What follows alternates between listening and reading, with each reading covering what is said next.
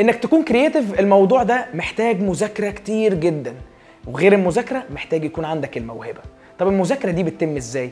لازم تتفرج على أفلام كتير تتفرج على مسلسلات تتفرج على فيديو كليبات لأغاني تتفرج على إعلانات من كل دول العالم عشان دماغك تتفتح على الثقافات المختلفة وتعرف تفكر بره الصندوق.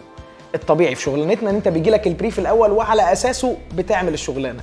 بس في حالاتنا في مصر اللي بيحصل إن أنت اللي بتعمل ال brief لنفسك وانت اللي بتجيب الفكرة وانت كمان اللي بتكتبها. ال creative عبارة عن كذا نوع. في نوع يحب الهدوء تماما وهو بيفكر.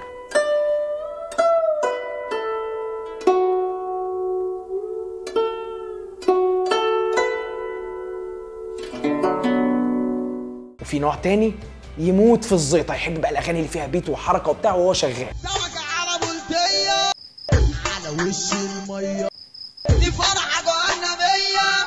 في نوع تالت يحب ورقة وقلم ويقعد ويركز وقهوة ويصور سيلفي كده وبتاع وينزل الصور ويحب الجو ده خالص عشان يبتدي يفكر.